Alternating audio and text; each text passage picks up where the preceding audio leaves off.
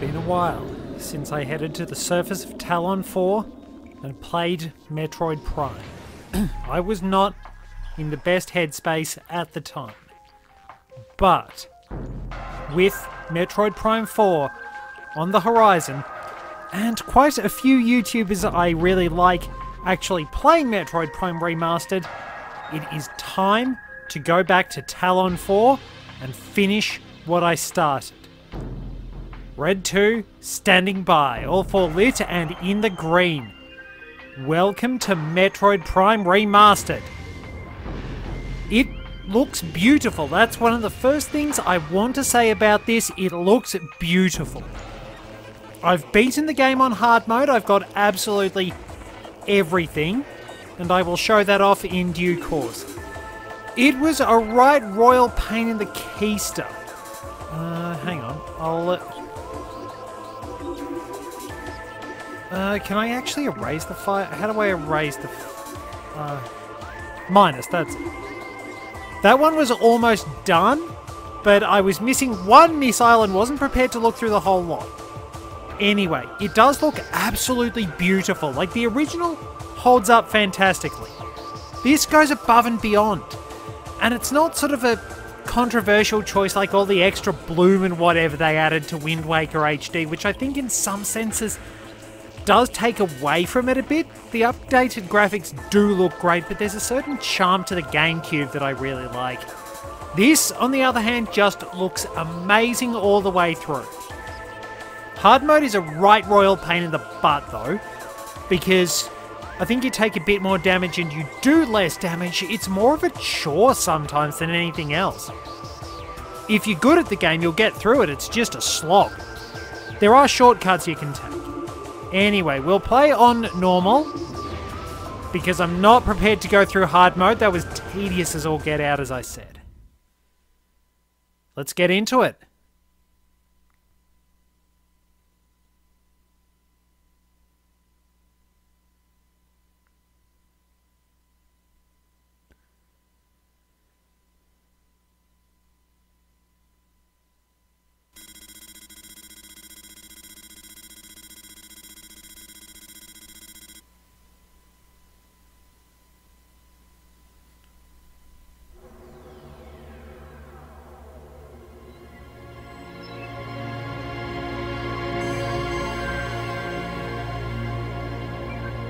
The cosmos. In the vast universe, the history of humanity is but a flash of light from a lone star. The life of a single person should be lost in space and time. But among the stars, there is one light that burns brighter than all others. The light of Samus Aran. Her battles extend beyond her life and etch themselves into history. Here, another chapter of that history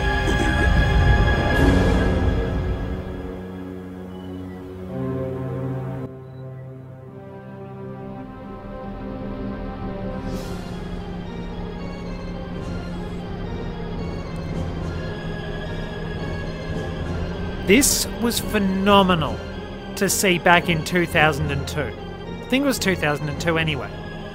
Like, we had no idea what was going to happen. In at least people in the Metroid community did. Super had been phenomenal. But there was no follow up on the N64. Samus's only Nintendo 64 appearance was Super Smash Bros. Nobody knew how they were going to top Super Metroid, still held up as one of the best games of all time. Development for this was hell. The developers' work had to be restarted because Shigeru Miyamoto wanted them to do first person instead of third person. Nobody was certain about this, and then they played it. Whatever they did, Super, Super Metroid was equaled in a sense with this. Its legacy was carried on brilliantly by Metroid Prime and Metroid Fusion, which I absolutely love and I've done twice because I wanted to redo it. So, we've got our buttons for the scan visor, which is vital because it will give us important information, so I'll be blathering on a bit about what we find.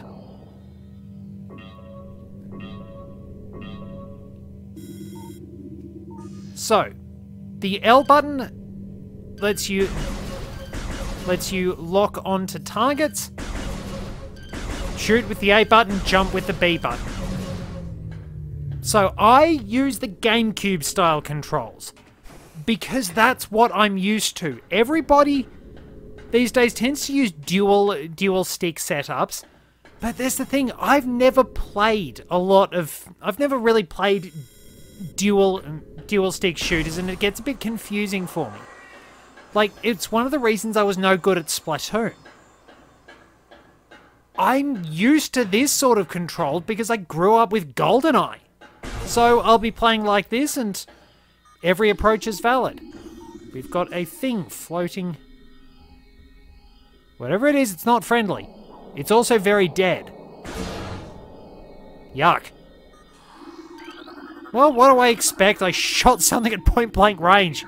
It's like a moth on a windshield. Do you reckon Samus has got windscreen wipers? Like, that'd have to be pretty handy. You'd need something to clear the visor of all the alien guns you wind up uh, getting on you. Like, it'd be pretty cool. Just like a little windscreen wiper or some sort of gadget that helps clear our vision. But you step in here, and how good does this look? Like, it's very clear something is not right. But jeez, it looks good. We can find some things to scan. And now if I get it right. Yep, you will find several space pirates, which are dead. Death caused by a severing of the spinal cord. Ah, here we go. The first creature entry. Parasite, interstellar vermin. They travel in swarms. Indigenous to Tallon 4, a single parasite is harmless to larger life forms.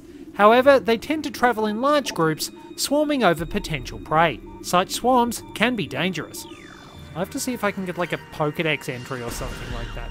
So you can splat that and we can go through this guy's pockets for change. Oh! Yeah, that's not nice. He's been... Yeah, impaled by the legs of this. Unknown. Info, high levels of radiation detected. That, whatever it is, it's big. It's interesting foreshadowing. No, more parasites. But we can't. Oh! Analysis shows incredibly large muscle structures surrounding the jaw area. Fluid sacs containing acid are also detected. Like, just... Again, just look at the details! Like, you're going through in something that almost feels like a precursor to Dead Space. And you've got such stunning visuals. Like, the pixel art of Super Metroid is very impressive. Now, I believe that one down there is still alive. Yep, weak life signs detected. Imprints of large bite marks can be seen on the exoskeleton. So we'll put a few bullets into him and put him out of his misery. I suppose it's better than letting him just sort of slowly die. But yeah, honestly, this it still looks stunning, and you're just sort of wondering what on earth is going on. Because keep in mind, at this this time, the space pirates are at the height of their powers. You've wiped out their operation on Zebes, but they're recovering efficiently. At least their first one, because Metroid Prime takes place after the original or Zero mission, but before Metroid 2. So we get our map station. Walk into map station holograms to download a map of the area you're in. So, basically we use our gun like we did in Super. We have the map for this particular area. So, you can uh, rotate the control stick, you can use L and R to zoom in or out, and you'll be able to see how everything connects as well. There is no way to trace pickups when we get to that, which is a bit of a pain in the butt. But if you want to pay attention, you can take time and scan various bits of lore. Tallon 4 ground zero area secure, crater radiation readings normal, okay. Frigate exterior hull stable and fully functional. Well, that's fortunate, we don't want to get sucked out into space. Parasitic infestation has been detected in the ventilation systems of decks Gamma and Beta. Two parasite queen specimens have become volatile on deck Beta. All security personnel should report to the biotech research area. So this is all optional. But if you do spend some time reading, you will find out a lot of information about what the pirates are doing. And like I said, the fact that whatever has gone wrong here prompted them to send out a distress signal is actually kind of terrifying. The space pirates are usually the ones invoking the distress signals, and it gets even nastier when you'll see what what they have on board. So we can sneak through small spaces with our morph ball. Nobody really knows how it works. It's never quite been explained. We've got a few... Oh. Well, he's still alive.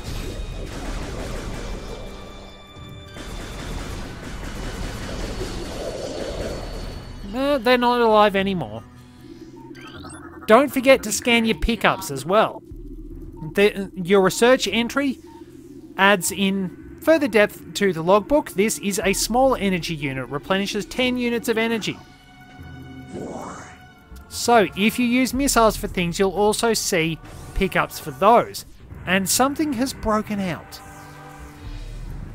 Like, already you're just wondering, gee, what on earth is going on? We know that two Parasite Queen specimens have escaped. One of them was nearby, so... Fire missiles with X. I need my scan visor. Got the door. Okay, a new creature's entry. Inasmuch as it is a creature. Mechanism. Auto turret. Use missiles to break out a casing. So, those can be destroyed by your charge beam, but missiles are effective too. New research entry, missile ammunition. Re resupplies missile launcher with three rounds of ammo. No, Back in the old days, you only had two. Now, before we go any further, if you're playing through this for the first time, are there any pirates stumbling around? Take care of that. Oh yeah, and something... Nope, just that. So, if you are going for 100% completion, pay attention because there is one scan entry for your for your logbook that you can only get here. Well, apart from the boss. Pirate data. This is an important part of lore, so make sure you get it all. So this has been downloaded to our logbook. In, it's encrypted data, but apparently our suit possesses the ability to decode it. Samus is actually really good at hacking. Zebes has fallen. All ground personnel are presumed dead, either killed by the hunter clad in metal or in the subsequent destruction of the underground facilities. The words time bomb set get out fast have something to do with it. Our research frigates Orpheon, Siriacus, and Vol Paragom were in orbit at zero hour and managed to retreat. Frigate Orpheon is now docked at Vortex Outpost. Orpheon's cargo appears to have a 100% survival rate, Metroids are healthy but on restricted feeding schedules due to uncertain supply status. We are ready to begin research on the Metroids and other promising life forms. Security status remains at Code Blue, no signs of pursuit from the Hunter. Code Blue wouldn't be very good if you're in a hospital, to the best of my knowledge. Ah, rightio, that. So sometimes you'll see those near turrets that will allow you to deactivate them. Now, this is a very, very big parasite. That's really big. Nothing in there. A plasmite. Native. It's very big. Specimen solitary holding one phase on level unknown status xenotropic life form unstable. Use, use caution. That is a side hopper which appears on planet Zebes. And it's not happy at being locked up. However, we do not encounter side hoppers as enemies in this game. You would encounter Dessgeegas in other end. It's worth noting you can't get the proper scan data for Space Pirates just yet. You'll just get little bits of information about their injuries.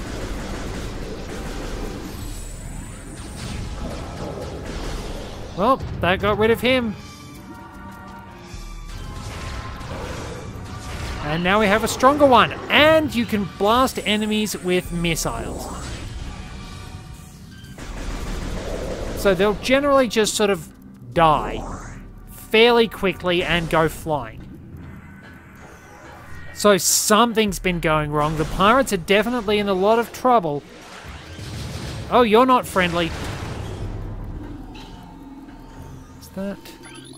Nope, just the regular one. The music is amazing at setting the atmosphere. The Metroid series has always had really, re generally had really, really good music. Opinion is a bit divided on Dread's soundtrack, but I do like a lot of it. I'm especially fond for the themes uh, located in Burenia.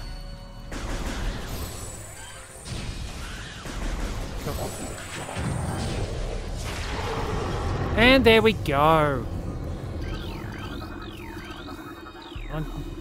Damn it, I was trying to scan the corpse and didn't get to. Door lock enabled. Please insert metallic sphere to... So, do the pirates actually have...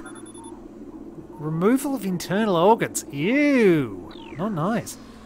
So, do the pirates actually have keys that are metal spheres? Because it kind of makes you wonder. They can't use the morph ball. Why do they have locks on their own ships designed so that Samus can open them, but they can't. There's got to be some sort of logic to this.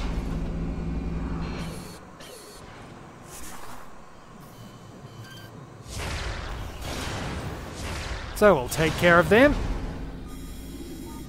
So, charge beam can be used to draw in pickups. Very handy to remember that. Nope, we just got the small ones for now you're going to be able to gather lots of uh, information about dead pirates. It just sort of adds to the chaos. And it just makes you think, what happened here? We know how dangerous the space pirates can be, so what did this to them? Acid burns to the face. So, save station, make sure to scan this. New research entry, save station. Step into these stations to save your game and fully restore your energy. Yes, you actually get a full heal at these, which was not the case in Metroid 2 and Super Metroid, but you did have energy recharge stations along the way. Essentially, they combined the two into one. There are still missile stations and map stations. Uh, focus on this, please. There we go. So, once again, we put in a ball. The door is going to open and we are through to the reactor core. Which means danger.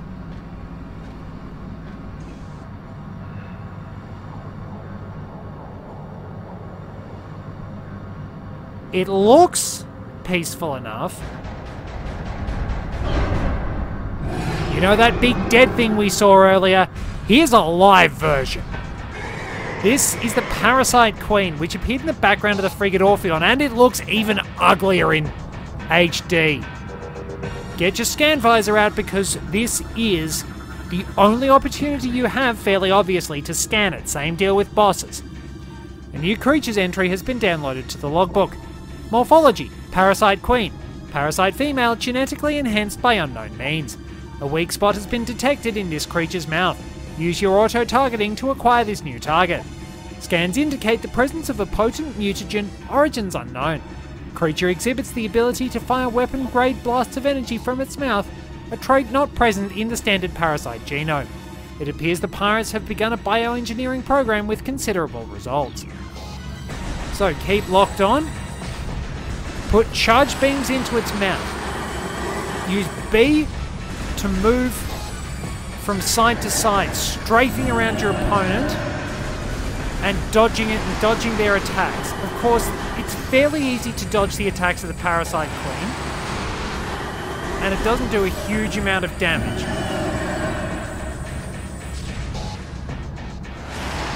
Put a missile into it and finish it off. It's a good tutorial boss and it fell right into the reactor core, just great. It's not happy with that, and that... That is not a good thing. Well, we wind up starting with an escape sequence. That feels like a Metroid moment. We need to run in the direction of a way and get out of the frigate.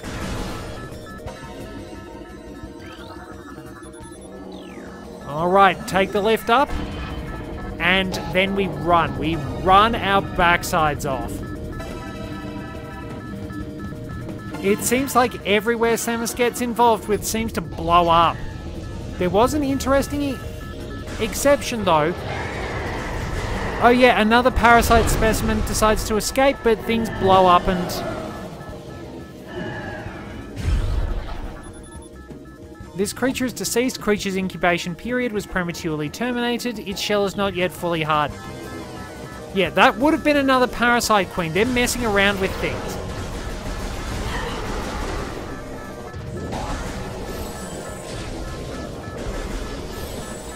They are continuing to goof around with things they don't understand.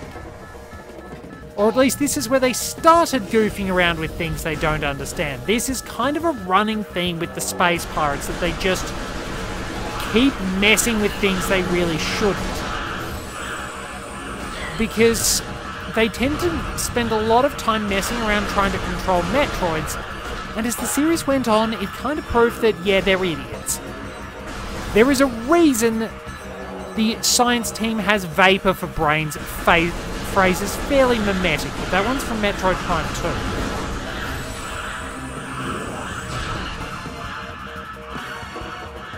2. So we got to keep sprinting through the ventilation shafts, the parasite infested ventilation shafts. And then maybe we will get out of here. So far, so good. Something's blown up for us.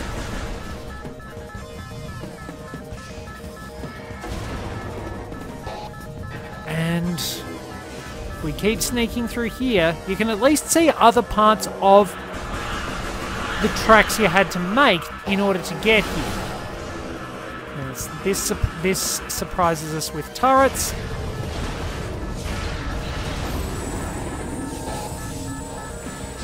Take them out and move on. Be very careful because there's a huge piston coming through somewhere. Alright, we pretty much just have to face tank the pirates.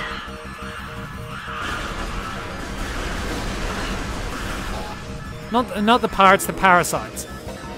Probably best to not face tank the pirates because that will end in disaster. They are a bit stronger than the basic parasites. And our armor helps, yet this one. I don't think that's an instant kill, but then again, I've never been hit by it and I don't want to find out. Big big, hard, hammery things are best not interacted with. So let's get through here. Samus looks around and. Guess who?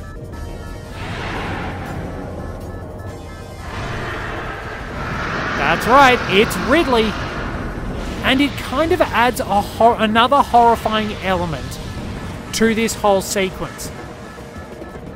The space pirates had Ridley present, and they still saw fit to send out a distress beacon. That's how and that's how frightened they were by their experiments going wrong. Get close, scan this. And as soon as we do, there is the mandatory Metroid depowering moment. That has got to be hard on the back. Don't worry, I feel that, Samus. So, we have lost. We've lost our missile launcher. We've lost the morph mothball, we've lost the morph mothball bombs, we've lost the grappling hook, but most of all, we have lost the big shoulders. Which is sad. Interestingly, the big shoulders came about because of the screen limitations when making Metroid 2. They couldn't actually change the palette of the suit like they could in. Uh, like, uh, like they could in the original Metroid because it was on the Game Boy and the screens were black and white. So they added the giant shoulders to differentiate the Varia suit from the Power suit. They kept it for Super Metroid, which is really cool, and some pirate corpses go flying. And so does Ridley.